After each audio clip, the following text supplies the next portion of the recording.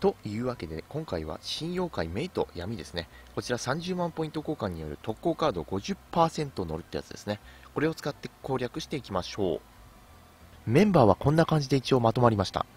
えっとフレンドさんの特攻 100%, 100ですね。これを使っていきましょう。で火力用にガシャドクロがこれで2種変換ですね。これはまあフランケンの変異でもいい感じです。でこれ闇の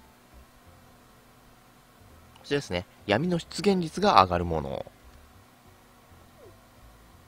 でこちらのメイトですね。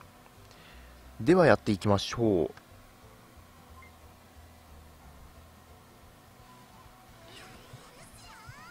1階です。一応これなんか鯉のぼりがモチーフになってるみたいですね。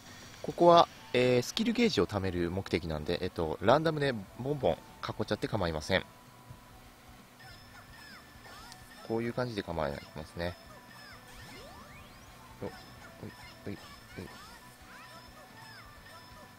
いしょ感じですね。半分ぐらいまでいけばだいたいいい感じです。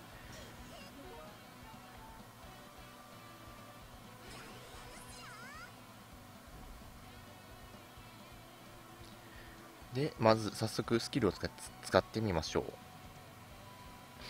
いしょ。二種変換ですね。よいしょ。ですね。で出現率を多くします。あれ。一体重なってるみたいですね。はい。はい。はい。こういう感じでいけますね。で2回クリアです。こういう感じにまだ闇の魔石も残ってます。よし。ボス戦です。ここも六角を利用して倒しましょう。よ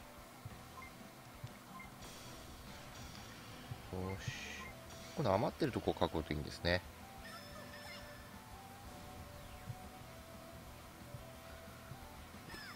よいしょ。はい。あこれ全部囲いでいけますね。よいしょ。って感じで倒せました。うんいい感じですね。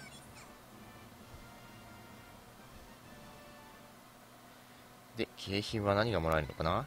あいいですね。特攻が30万ポイント手に入りました。よいしょ。ですね。イベントポイント。これクリアボーナスみたいですね。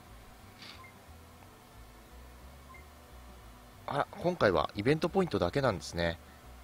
明日開催されるこちらのミカエルなんですがやっぱりこの光闇の真剣さ方式ですね。これのダメージ依存がちょっとあるんでちょっとまだ防御とかを上位ダンジョン回るときは考えた方がいいかもしれないです。